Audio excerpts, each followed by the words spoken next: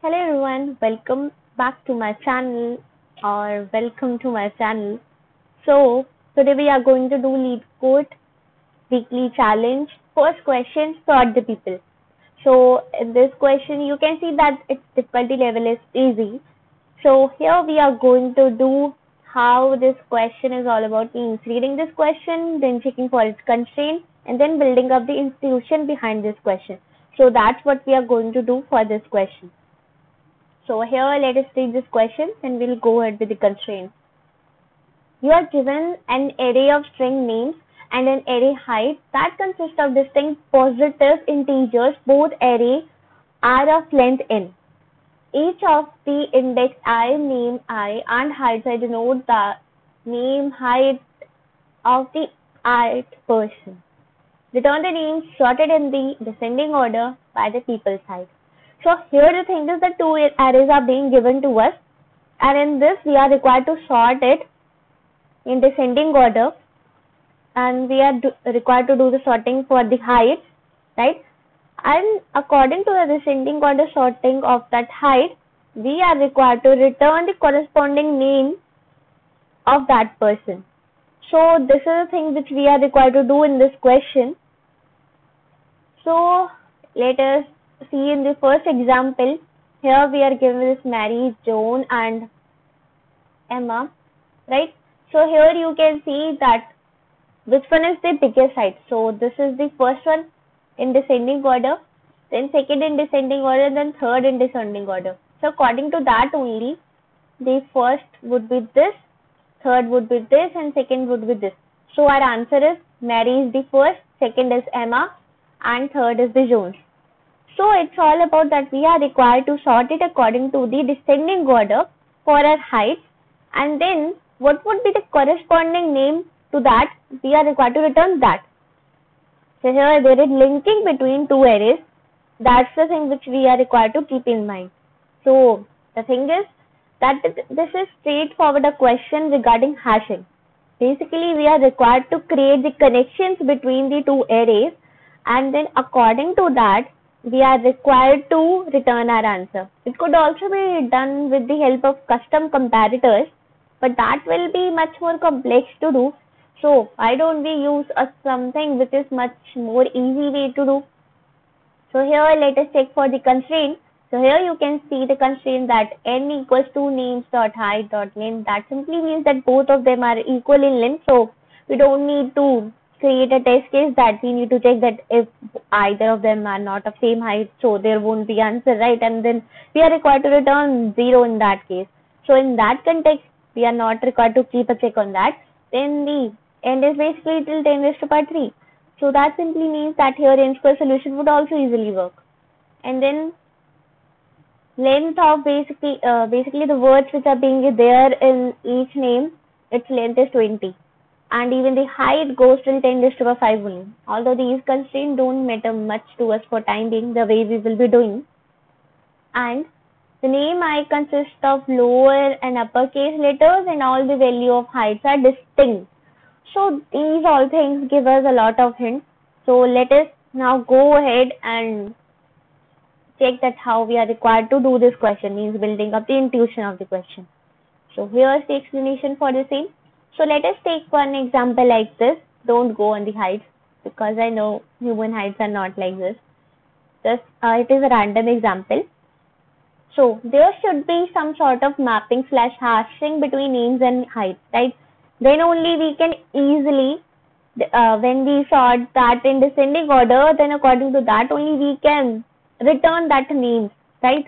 So that's why there should be some sort of linking means hashing or mapping should be there. So after a hash is being created, then sort according to the height in descending order and that will be accordingly customized sorting for the name as well. So here the main role is only for the hashing. So now let us take that in that our example only this was the descending order right. So corresponding to that whatever name was there we would be returning and that would be our answer. So here whole role is of hashing so new now comes the role of hash uh, for hashing.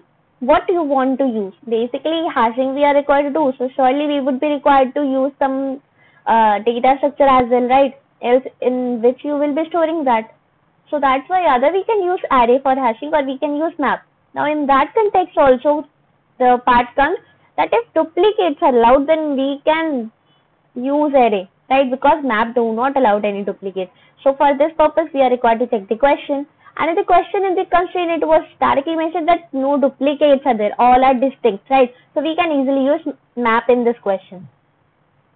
So now comes the part basically there are three types of solution which we can use here. So the first type of solution is by array only right for hashing. In that array only we can either use the custom comparator right or we can use the reverse sorting of that particular array.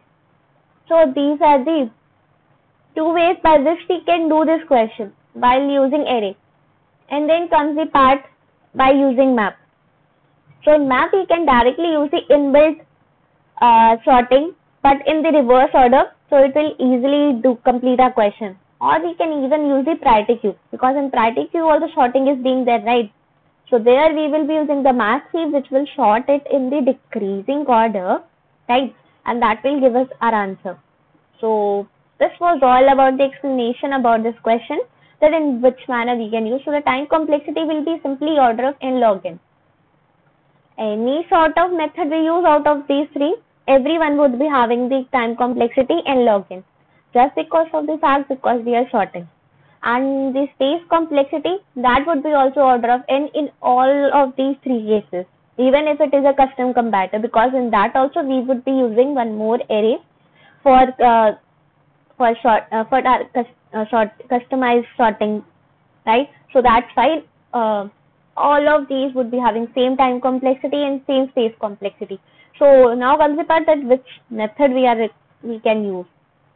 So if everyone is having the same time complexity and space complexity, so it's better to use the one that is much easier to implement, right? So here is the part that which is the much easier to implement. So here's the thing. So here I've implemented the map one, which is a much easier to implement.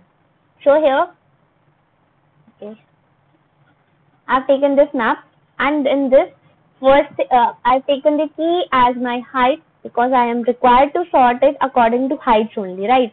So that's why I've taken the key as the height and then string is my name, right? Because value is required to be returned and we are not considered with that is it sorted or not. We are only considered with this particular thing that is our end, right?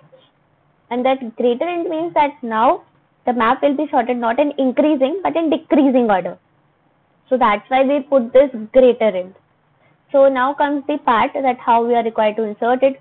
So we will be inserting like the way we insert pairs in our map, right? So height of i and names of i would be inserted. And then I've taken my implementation here is like this that I've taken this as global so that I am not required to use a, what we say that uh, two loops inside the same.